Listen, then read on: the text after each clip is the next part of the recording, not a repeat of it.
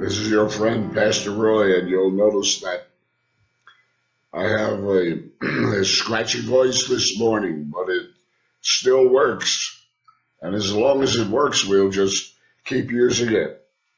The question we have for today is what is the ultimate goal of God for mankind? What is the highest purpose of man on earth? And I think it's pretty clear in Scripture what that ultimate purpose is. You remember the, the Apostle Paul, he spoke of, I press towards the mark. What is the mark? Of the high calling of God. What is that high calling of God in Christ Jesus? And he made other allusions to things he had experienced, places he had been. And um, in spite of all his success as an apostle and the establishing of churches and something, he still was pressing towards something that was more than just success. I suggest that the ultimate purpose of God is vividly portrayed in the Gospel of John in the 14th chapter. You remember Jesus said, uh, Let not your heart be troubled. You believe in God, you believe also in me. In my Father's house are many mansions. Mansions.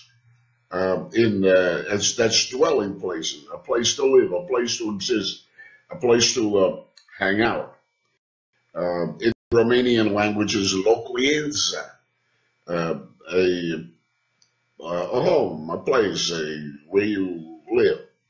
Okay, so Jesus says, in my Father's house, there are many mansions or dwelling places.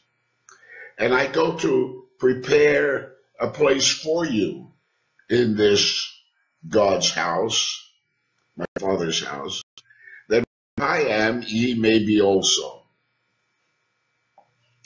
Now, uh, one of the uh, disciples, uh, was it Thomas, he says, Lord, we don't know where you're going and how can we know the way?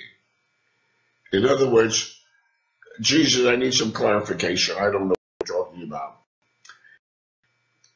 And so uh, he, he said, Jesus said, have you been so long time with me? And don't you know? Now Jesus is about to tell Thomas where he is. That where I am, present tense, there ye may be also. Where are you, Jesus? Well, Thomas asked that question. Jesus is about to tell him.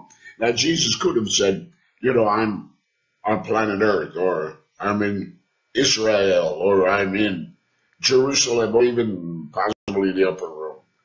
Uh, what did Jesus say? Jesus said very clearly, I am. Here he, here he is. I am in the Father. That's where he is. Even though he may be walking on earth, his dwelling place where he lived was in the Father.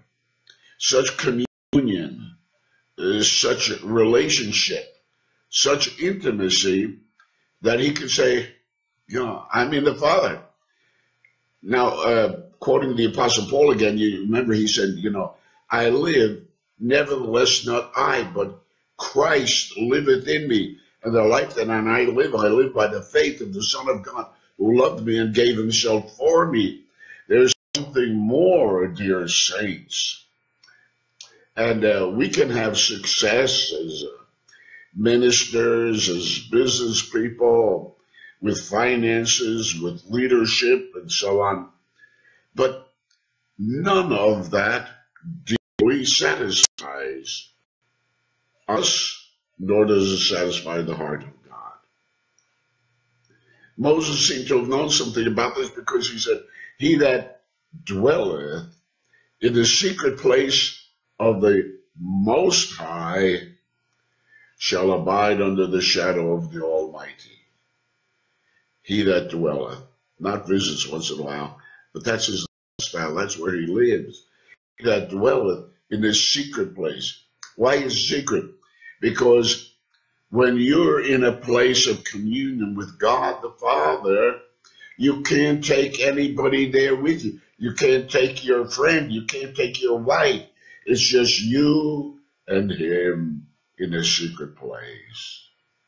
Now, your wife, she can have her own secret place. She can't take you there either. So it goes both ways.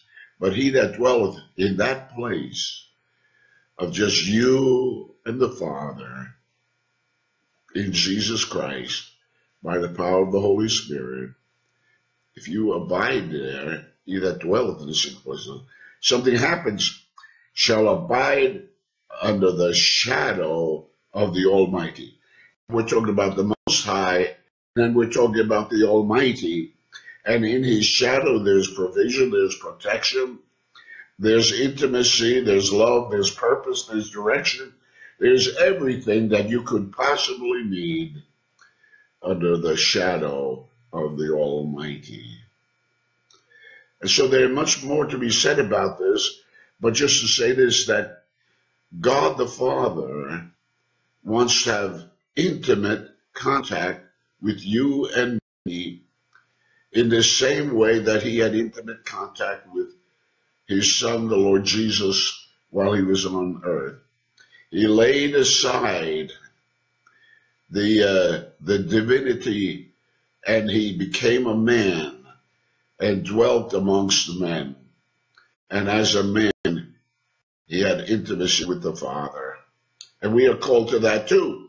And from that intimacy, two things happen. Jesus said, He that abideth in me and I in him, number one, shall bear much fruit. So it it's not a laziness. It's not um, getting away from anxiety or or anything like that. But the maximal fruitfulness of a life comes from he that dwelleth in the secret place of the Most High, or is with Jesus in the Father. That's the first thing. What's the second thing? He that abideth in me and I in him shall bring forth fruit. A little later, later it says, and that fruit shall remain. Yes, God is looking for someone who will be directed of him, um, knows his will, knows the what, where, how, when, who, questions, and then proceeds to walk in that direction, obey in that direction.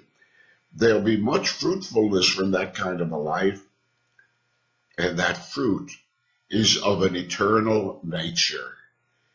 It will abide. That fruit will remain. And so it will not be like wood, hay, and stubble that's here today, gone tomorrow, or gone in 50 years or whatever. But it's something that will last for eternity. So, my dear friend, let us press in. Let us press on to those things of God that uh, sometimes are not adequately. That is the goal of the Christian life.